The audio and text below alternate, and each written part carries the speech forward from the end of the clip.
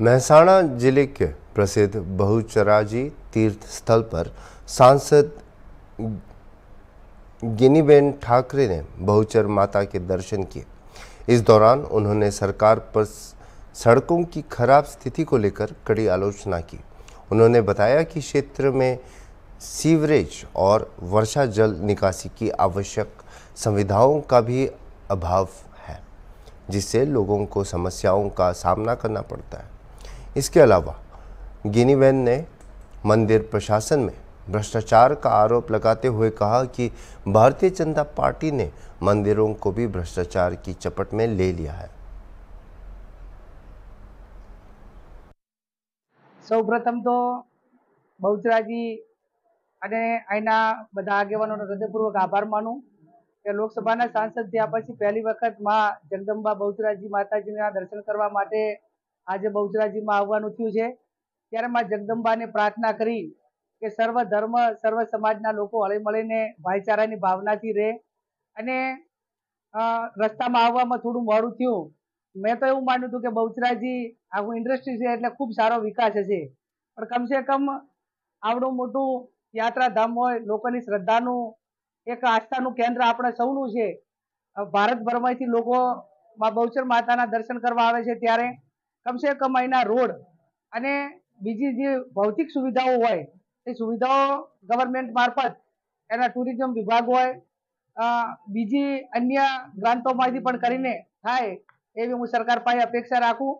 મુખ્ય અહીંની જે સમસ્યા છે, એ ગટર લાઇનની આવડા મોટું ઇન્ડસ્ટ્રી હોય તો એની અંદર ફંડિંગ રોકાણ અને ઉત્તર ગુજરાત આખું ગૌરવ અનુભવે કે અહીંયા આવડા મોટા પ્રોજેક્ટો ચાલે છે એટલે આ વિસ્તારની અંદર તમામ ક્ષેત્રની અંદર ગવર્મેન્ટ સારો એવું ડેવલપિંગ કરીને વિકાસ કરતું હોય છે. પણ કમસે કમ જે ચોમાસાની અંદર કે રૂટિંગમાં એક ગટર લાઇનથી પાણી બહાર કાઢવા માટેનો પણ ગવર્મેન્ટની જે મંશા હોવી જોઈએ, લોકોના હિતમાં કામ કરવું જોઈએ, એ અહીંનું વહીવટી તંત્રની નથી કરતું. એ અહીંના લોકોની મુખ્ય સમસ્યાની માગણી છે. ત્યારે અપેક્ષા રાખીએ અમે અમારા ધારાસભ્યોને પણ કહીશું અને જ્યાં લેવલે રજૂઆત કરવાની થાય, એ અહીંના જે મૂળ પ્રશ્નો છે, એ પ્રશ્નો અમે સરકાર સુધી પહોંચાડી અને લોકોની સુખાકારીમાં એમાં વધારો થાય ના કામો થાય એવી અમે સરકાર પાસે વાત પણ કરીશું. મંદિર આટલા દિવસમાં ખરાબ થઈ ગયું છે. કોન્ટ્રાક્ટ સામે કોઈ એક્શન લેવાતી નથી. ભારતીય જનતા પાર્ટીના રાજમાં. હવે કોઈ એવું ક્ષેત્ર નથી કે જ્યાં ભ્રષ્ટાચાર ન હોય. કમસે કમ હવે તો મંદિરોને પણ છોડ્યા નથી. ખૂબ મોટી ગ્રાન્ટો ફાળવવામાં આવે. ટુરિઝમ વિભાગ હોય. અને જે મંદિરો ગવર્મેન્ટ ડેવલપિંગ કરે છે કે બહુચરાજી હોય, અંબાજી હોય ડાકોર હોય સોમનાથ હોય, કે જેનું સીધી જવાબદારી કોઈક ને કોઈક રીતે ગવર્મેન્ટની આવે છે. તેર કરોડ પહેલા હમણાં જ મંદિર બનાવ્યું હોય. વર્ષો પહેલા રાજા રજવાડામાં જે આસ્થાઓ સાથે આપણા જે રાજવીઓ હતા, એમને મંદિરો બનાવ્યા તો આજ સુધી આટલા વર્ષો સુધી પણ એની કાંકરી હાલતી નથી. અને આ વર્તમાન સત્તા ઉપર બેઠેલા રાજાઓ જ ગણાય. એમને કોઈ આસ્થા સાથે કોઈ લેવા દેવા નથી. લોકોની શ્રદ્ધા માતાજીની કૃપા એના સાથે કાંઈ લેવા દેવા, એમના મળતિયાઓને કઈ રીતે કોન્ટ્રાક્ટ મળે? અને કમસે કમ એમની જે હોય, જે અપેક્ષા, એ ઠીક છે, પણ એક આસ્થા, એક આસ્થાનું કેન્દ્ર કે જેને આપણે દરેક વ્યક્તિ નમન કરીને એની પાસે કંઈક દુવા માગે. હવે જ્યાં મંદિરમાં જો આપણો મોટો ભ્રષ્ટાચાર થતો હોય, તો આ લોકોનો, લોકો માટેનો વહીવટ અને લોકોના સુખાકારીના કામો એ કેટલા ગુણવત્તા માટેની આપણે અપેક્ષા રાખી શકીએ? માં જગદંબાને બહુચરાજીને પ્રાર્થના કરું કે આવા લોકોને એ ભ્રષ્ટાચારમાંથી મુક્ત બને ગુજરાત. એક આસ્થાના કેન્દ્રમાં પણ ભ્રષ્ટાચાર બંધ કરે એવી શક્તિને સદબુદ્ધિ આપે એવી માં જગદંબા બહુચર માતાને પ્રાર્થના કરું. બહારના રાજ્યોમાંથી કે બીજા દેશોમાંથી કોઈ પણ મૂડી રોકાણ કરવા આવે ત્યારે સ્વાભાવિક છે કે એની ગાઈડલાઈન છે ને લોકલ લોકોને રોજગારી મોટા પ્રમાણમાં મળે.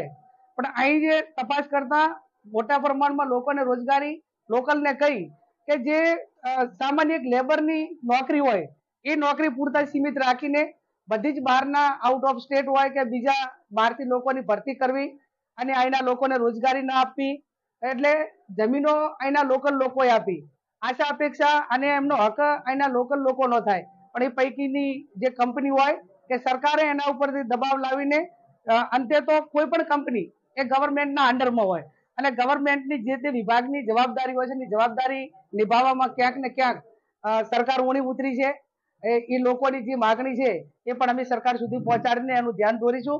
અને આવનાર સમયની અંદર કુદરતને અહીંયા હોય દેર હોય, અંધેર ના હોય. આમનો હવે પાપનો ઘડો ભરાઈ ગયો છે. અને હવે શરૂઆત, એ અંબાજી મંદિર હોય, બહુચર માતાનું મંદિર હોય કે આસ્થાના કેન્દ્રો હોય, ત્યાં પણ હવે જો લૂંટ ચાલુ થઈ ગઈ હોય, તો હવે હું માનું ત્યાં સુધી દેવી દેવીઓના આશીર્વાદ એ સત્તા પરિવર્તન તરફ જઈ રહ્યા છે અને આવનાર સમયની અંદર સત્તા પરિવર્તન થશે. અંબાજી હોય અનેક ધામોની અંદર. વર્ષોથી પરંપરાગત રીતે જે પ્રસાદ ધરાવવામાં આવતો હતો, એ એમના મળતિયાઓને કોન્ટ્રાક્ટર મળે ને એમાં કઈ રીતે નફો મળે, જ્યાં હવે વેપાર જ કરવા બેઠા છે. એમના કોઈ ક્રાઇટેરિયા શ્રદ્ધા, આસ્થા, લોકોની ભાવના એની સાથે કોઈ જ લેવા દેવા રહ્યું નથી. ત્યારે આ તમામ બાબતોનો એક જ જવાબ છે કે લોકો એ આપણે જે જોડાયેલા છે, આસ્થા સાથે જોડાયેલા છે, એ સામે આવે. અને એમને પ્રશ્ન પૂછીએ.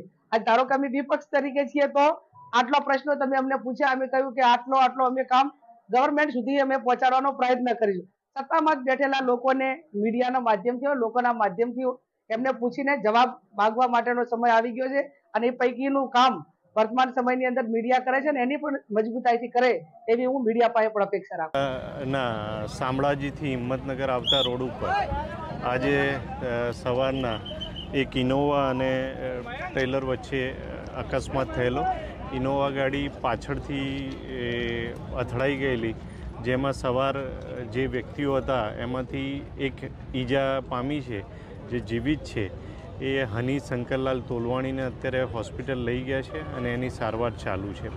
એ સિવાય જે અન્ય સાત વ્યક્તિઓ ગાડીમાં હતા, તેઓના મરણ થયેલા છે. અને આ તમામ રહેવાસી છે, એ અમદાવાદના છે. એટલું અત્યારે હાલ જાણવા મળ્યું છે.